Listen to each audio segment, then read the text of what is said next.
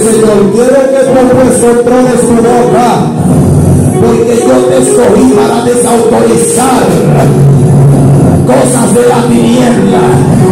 Tu boca no puede hablar cualquier cosa. Tu boca no puede hablar cualquier cosa. Tu boca fue un unida con aceite fresco para hablar cosas santas.